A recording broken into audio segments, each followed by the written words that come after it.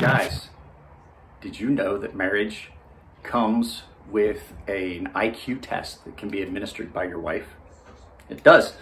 I loaded the dishwasher last night. That initiates the IQ test, and apparently, from what my wife told me, I uh, I may be developmentally challenged.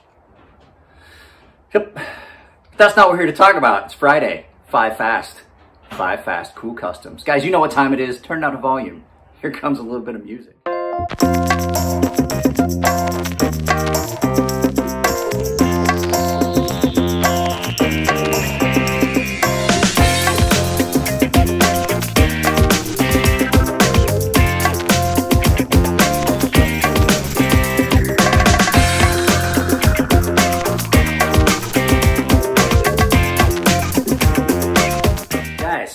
It's Friday. We're gonna do five cool customs, but first let's talk about this channel. This is Viva La Dirt. They do all kinds of video game logic things. This is Red Dead Redemption 2 logic. So like all the weird things that happen in the video games uh, that that kind of like they don't make any sense while you're playing it. Like, why does this happen? And and how come no matter what I do, I'm always the bad guy if somebody attacks me and I fight back? All those things they parody all that stuff. Uh, even though Red Dead Redemption 2 is my favorite game ever, I think they really do a pretty good job of pointing out all the little weird details and weird things in the video. So, like I say, I can't give them any money, but I can send them you guys to give them a view. So, Viva La Dirt. I'll have a link to it down below. So, like I said, guys, five cool custom knives. I've got them laid out. There's not much else to say. Let's turn this around and take a look at it from above and just look at five really cool Guys, custom let's start taking a look at these customs. The first one we're going to look at is a Graham fixed blade. Now, first thing first, the sheath on this is amazing. Um, I actually had this knife for a while. I sold it to my friend Tino. It was in on consignment. I was selling it for a guy. Um, so this is a Graham. It's not a Razel. I think this was called a GTF, a gentleman's fixed blade is what he called it. So super nice leather sheath set up for pocket slip so you can carry this in your right front pocket with a pocket clip, put that down inside. So there's that really nice sheath. Solid, solid. So this thing is got a mammoth tooth uh, handle, bottle opener in her back. This thing is, as you can see, it is a Graham. Like I said, I think it's a GTF. Super deep hollow grind on this with that Tonto, really similar to a lot of the Razels and things like that. Nice straight edge. This thing is so, so sharp. Um, it is cool because, like I said, you can just stick that in your pocket down in, just like a regular folding knife. It doesn't actually stick up real far. Uh, it sticks up further than I would like.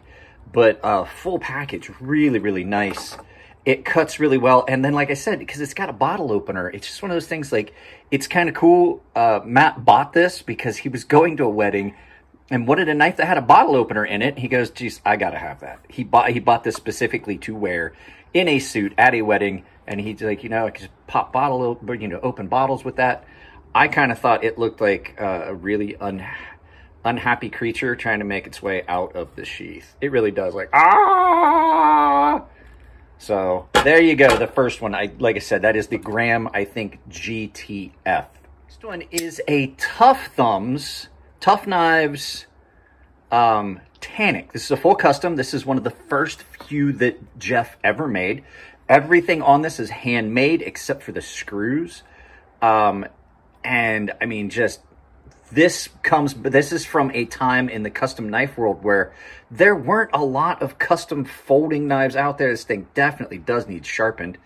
Um, unique, unique blade shape. But the fact was, Jeff um, had this model that came out, and then he did one that he called the Switch, which was, it was just basically a bunch of different blade shapes and things like this. This was the first one he did that was just constant. So it's full titanium, all hand rock patterned. Um, lock bar. Look at that lock bar cutout. You can see where it's been drilled and cut. So you know Jeff did Jeff cut this all by hand. Great big pocket clip, huge copper backspacer. This thing is not light. So you have the fine rock pattern on the spine, then that heavy rock pattern on the blade itself. Jeff's logo. Action on this, for as weird as this knife, action on this knife is really nice. Um, I have not lubricated or any, this or anything, so it, I mean, it's not like drop shut, but it's just smooth and it just plies open. That's a unique blade shape. You've got like a Persian Tanto style thing going on. It's just really, really eye catching and, and really, I, I just, I like, I really like this knife and I don't know why. There's like things about it I shouldn't like. It's not for me, would not be really a functional knife. It's more of an art piece. But but, but then when you hold it, you're like, wow, it's just so it's just so different than anything else that had been made at that time and even now. But yeah, Jeff does good work. Jeff's knives are really, really stellar. So there you go. The Jeff, uh, the Tuff Thumbs Tannic by Tuff Knives. Jeff, good, good job. Notice a theme. It's going to go fixed blade, folding knife, fixed blade. You see what I'm saying? Um, so this is a knife that is personally in my collection. This is a Morgan Custom Knives. Little Wharncliffe done in, as you could see, ATS 34. Nice little, it's Warney blade. It's kind of a recurve warny, hollow ground. Um, this as well has a nice little pocket clip. I do carry this knife in my pocket. Um, because it, it sits nice and comfortable and it is super, super light. Nice, nice sheath that's been hand tooled. GRM on there. This thing is cool. So now let's go ahead and take a look at the knife real close. Mother of pearl handles. Um, the uh, art, the like the artisanal pins, the mosaic pins, um, red liner underneath the mother of pearl all that carving that's been done on it, and then just look at how smooth everything is transitioned. This is a really nice knife. It's kind of dirty because it does get carried. Super, super nice. The way the bolsters come down, marry right into that red liner. Um, comes down and it is ground really thin. This knife does get used a lot. Super polished blade. There's his logo, Morgan.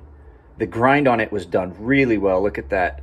Um, it's just a beautiful all-around knife. This is actually my daughter's knife. It's in my collection, but it's actually my daughter's. Um, this is a nice little small knife. Filework on the spine. Just a beautiful, beautiful little knife that is still really functional and easy to carry. You know, really light, small little package. There you go. So there's your third one, that Morgan Wharncliffe. Next one is some is one that's kind of special. There's a story behind it. We were at uh, the California Custom Show. I had entered into a lottery for these knives. This is a Cope. This is a custom version of his SR33 that he did for Project Venturous, I believe. At any rate, this is a custom version of that. Um, I was in the lottery for it. My friend Tino really wanted one of the knives I had entered into the lottery to to win and found out I won this knife. Tino was super, super stoked. Um, he, I, he's like, bro, you got to go over. Like, you won the knife. And I was like, well, do, do you want it? He's like, absolutely. So this is all hand done. This is a hand brushed anodized titanium handle. Pocket clip. This is all handmade. This is the ladder Damascus that it was done in. And it, it's got this patinaed look where it looks good. There's the Cope logo. The action on this thing is incredible. And it is just a really, really beautiful fixed blade knife. You can see that it's a it's a cored Damascus. So you have basically um, that ladder that's on the top is a uh, it's just there for show. It's a shell. And then you can see the core steel that's in it all the way down to the edge. Takes a really, really keen edge nice and thin, comfortable in hand. The pocket clip for me, I'm not 100% sure, but it, this is just a great, great custom knife. This is a full custom, full custom Cope folder. Man, we got to meet Ed. The first time I ever met Ed, I got to see some of his knives. Um, I, I told him like how much better, just even in a couple years, how much better theirs are. Tom Mayo, him and Tom Mayo, he's, he's like Tom Mayo's apprentice. So look at that, just beautiful. Let's get that blade again. Man, the pattern in that steel. Nice. So there is number four. Ed Cope custom SR33. Blade guys, I kind of like to toot my own horn every once in a while. I don't get to see my own work very often. Um, this is Tino's personal fish that I made for him. That is, that is what they call Thunderstorm Kevlar um, that I torched. And then Nico actually took this and clear coated this with vehicle clear coat so that the, the Kevlar would stop coming apart. Rock pattern in the spine all the way down. Deep grooves cut in here on the on the flat here where it transitions into the bevel. And then Tino decided he's like, you know what I really want? I want a tiger pattern. And I was like, you know how hard tiger stripe patterns are to get married up? So I took the time. I married everything up. If you look, that transition straight, like they are as tight to each other from side to side as you're going to get.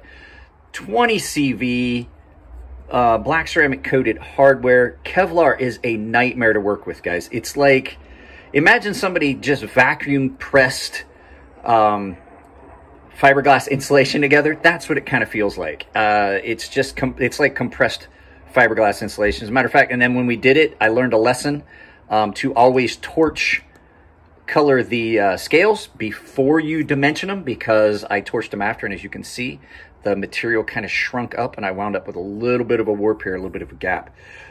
Um, but this was done at 20 CV. Hand, I, everything I did on this, I did by hand. I cut this out with an angle grinder. I did all of the work on this. This was not one that was, uh, this was not one of the ones that ever got water jetted out. This is one of the first ones that I really started doing and it was done all by hand. So that meant I cut this out with an angle grinder. I did all of this, um, cut out and all that by hand.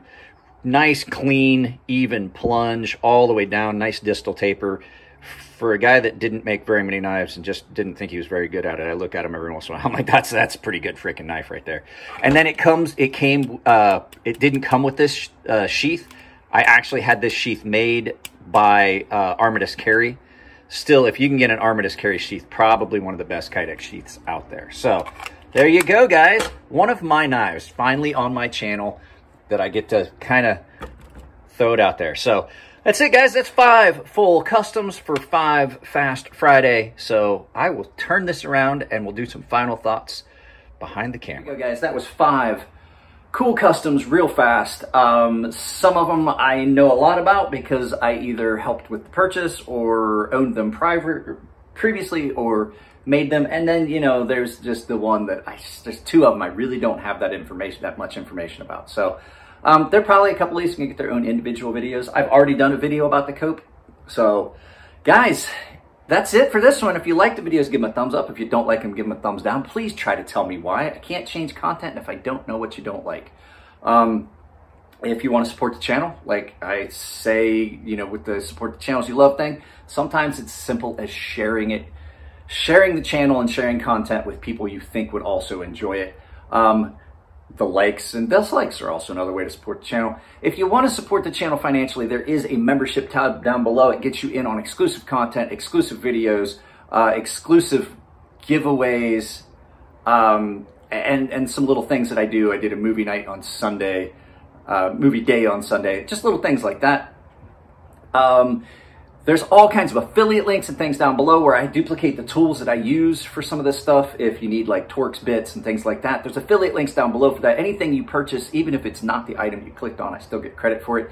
And I have the merch store, the Ember Shirt Co. merch store. So um, Ember Shirt Co. and the merch store, they take you to the same place. If you don't necessarily like my designs, you can look at some of the other stuff they have available, and I have a coupon code for you that works anywhere on Ember Shirt Co. It's Crazy Sharp, capital C, capital S, all one word, Crazy Sharp, capital C, capital S. So saves 10% at checkout.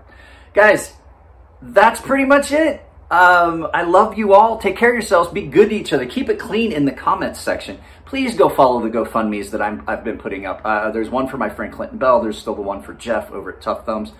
And uh, yeah, Take care of yourselves. And I'll see you in the next video.